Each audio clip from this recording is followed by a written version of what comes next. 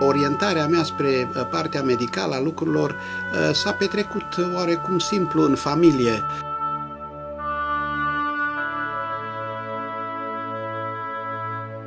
Cred că întotdeauna am avut uh, pasiuni paralele cu medicina.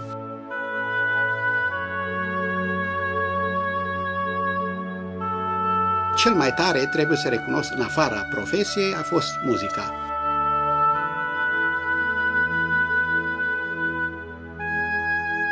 Cred că dacă ar fi să o iau de la capăt, uh, cred că aș face aceleași, aceleași lucruri, cred.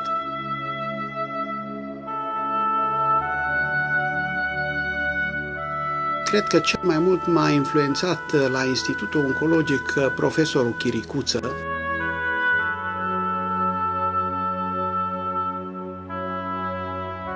Cariera mea a fost apoi modelată treptat și de peregrinările mele prin diverse secții, diverse unități spitalicești și de colegii cu care am lucrat.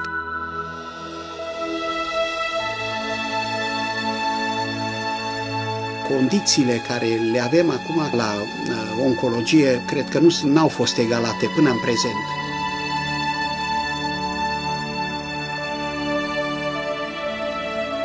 Nu-mi place în general, uh, dacă doriți, uh, minciuna, prefăcătoria,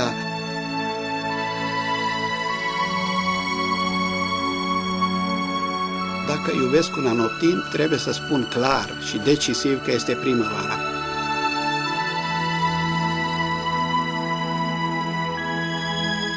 Foarte multe dintre secretele informaticii le-am obținut uh, prin faptul că m-am înconjurat de foarte mulți tineri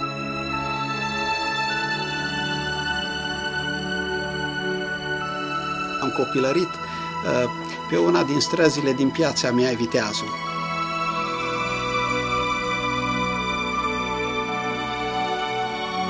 Medicina am terminat-o uh, în 1978, uh, mi-am făcut secundariatul în cadrul Institutului Oncologic și apoi la Clinica de Radiologie. Apoi am continuat să lucrez la Institutul Oncologic. În paralel am făcut și gărzi la salvare,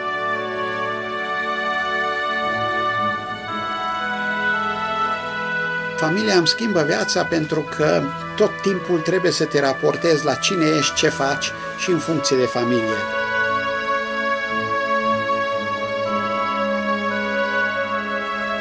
Cea mai valoroasă până la urmă achiziție în viața unui om ar trebui să fie familia.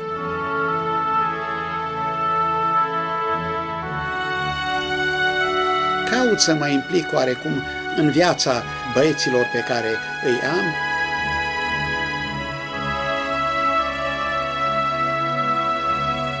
simt foarte adesea nevoia de a fi mai des cu ei, de a vorbi mai des cu ei.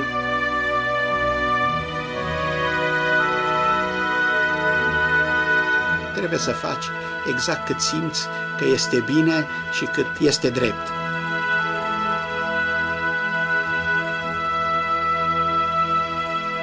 Foarte mulți uită că de fapt sunt parte a unei familii, a unei societăți, sunt o rotiță dințată importantă în angrenajul social și dacă lipsește uh, din acel angrenaj familial sau social, creează de multe ori o catastrofă.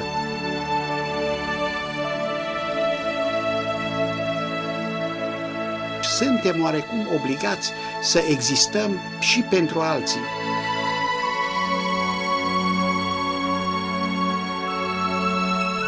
Când luăm o decizie personală, trebuie să avem în vedere și ce se întâmplă în jur.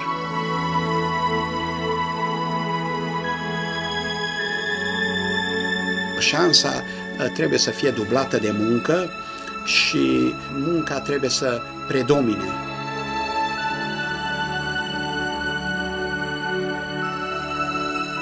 E important ce crezi tu despre tine atâta timp cât uh, uh, faci lucruri drepte.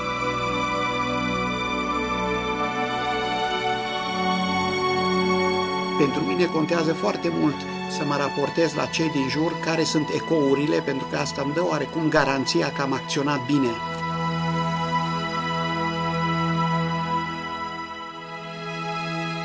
Riscul face parte din activitatea noastră.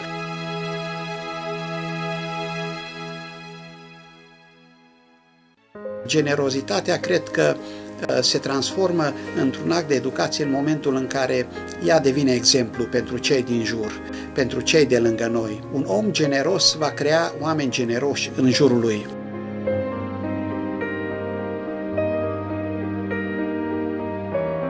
cred în Dumnezeu, cred în cinste, în omenie mai ales și în muncă.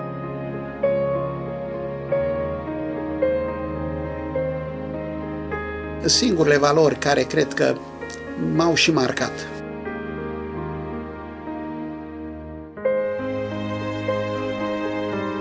Nu pot să le spun ascultătorilor decât că dacă vor avea nevoie și dacă situația o va impune, să mă acceseze, să ne acceseze pe toți colegii care sunt uh, cu toată încrederea că vom face tot ce se poate pentru ei